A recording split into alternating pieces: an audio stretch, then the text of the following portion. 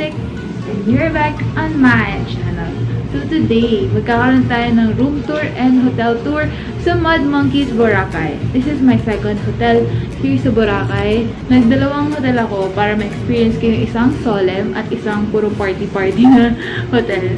Narinig naman natin sa background eh, baka ma-demonetize tayo. Pero anyways, tutur ko kayo this time. Um, hindi siya bedroom na for me lang. Naka-dormitory ako.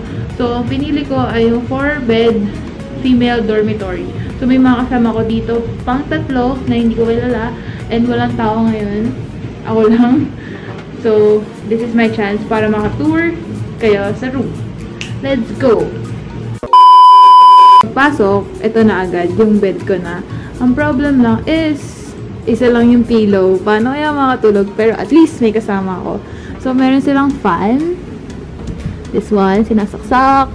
Tapos may ilaw, tapos may socket. Siyempre, hindi mawawala tong extensions ko na lagi kong dala kahit saan ako magpunta. Kasi ang dami kong sinacharge.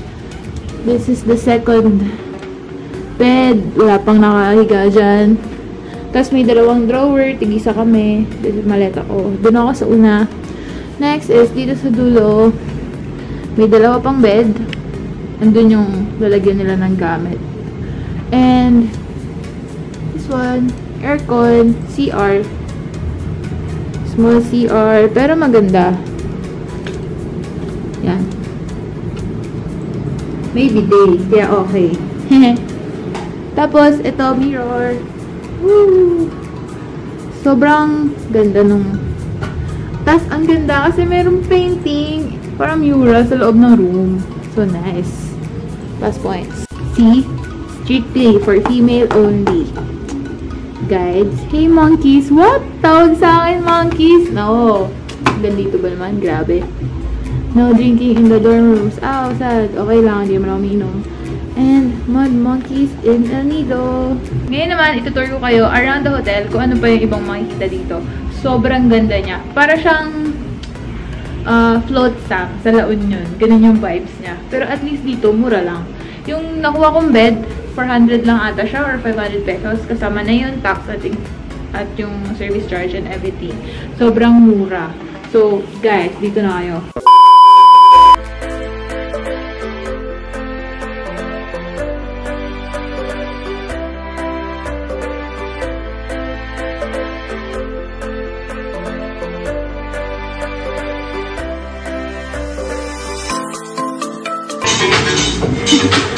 ganda party-party agad.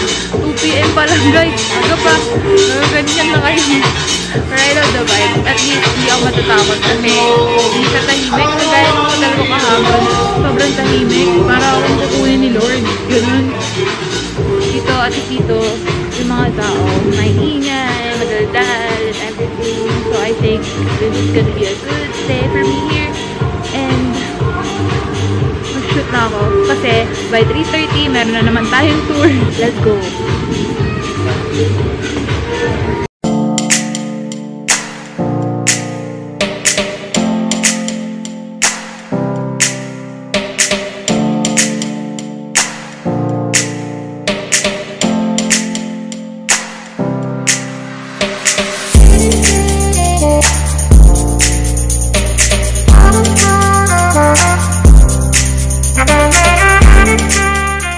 Six and a half hours later.